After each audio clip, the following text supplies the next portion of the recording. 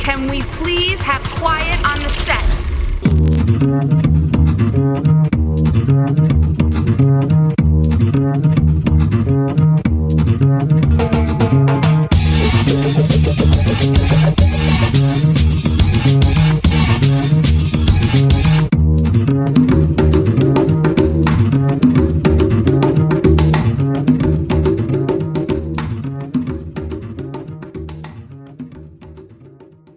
Say yeah!